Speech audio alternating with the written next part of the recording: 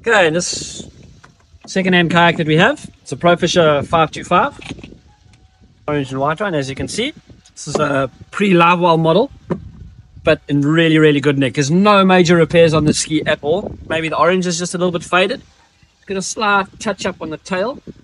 But it also, what's nice about the ski is it comes with a lot of extras. So although it's a pre-live well model, it comes with the live bait torpedo. Okay. You haven't looked, if you haven't looked inside the hatch as well, you can see the hatch is really clean. So it clearly hasn't caught too many fish. Um, the other extras are on the handles. It's got the neoprene, nice soft neoprene handle covers. It's got the extra elastic to close the hatch. It's got a folding rear hatch.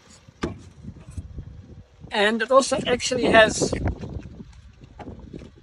little bit of a line protector on the bottom. It's missing the front part of it, but it's got the back part of the line protector. So a couple of nice extras on here. But it is a very, very good condition older model 525.